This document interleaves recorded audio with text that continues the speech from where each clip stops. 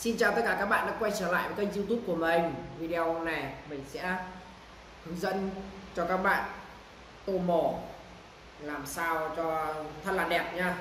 Bây giờ chúng ta hãy cùng bắt đầu nha.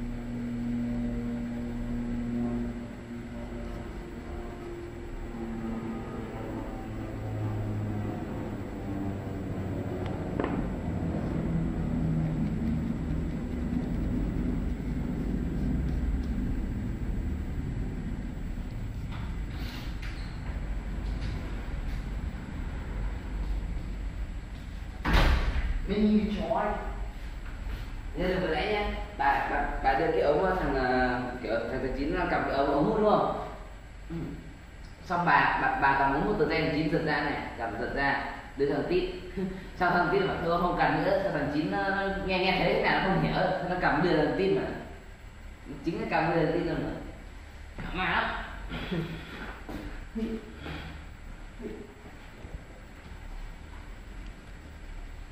kiểu nó, nó biết hay sao nó đưa mình thường tiếp mà.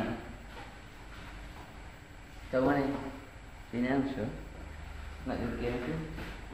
Chừng đeo để địt mẹ. Tính nóng nữa. Đấy, cho nó ngồi lại Đến giờ Đến giờ xem tiktok cất bán ạc phi phải ngon mấy rồi đấy ngồi ấy rồi vừa hết đấy nghe Đấy, chín ơi